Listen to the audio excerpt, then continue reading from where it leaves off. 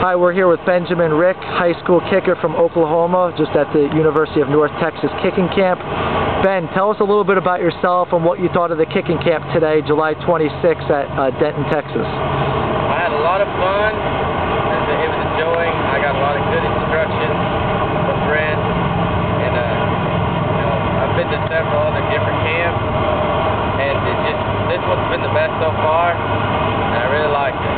And I plan on coming back. Good. Ben, can you give us some specific things that maybe you weren't too confident on that you learned today that you feel a lot better after the camp? He, he helped me with my uh, height issue. I, kick him way too high. He got me down low.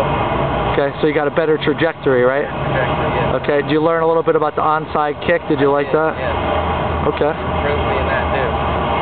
So if someone was to ask you about the kicking camp, would you recommend them to come out next year? Yes, I would. Definitely. This is the kicking world is the way to go. All right. Benjamin Rick, Oklahoma at the UNT kicking camp. Thank you very much.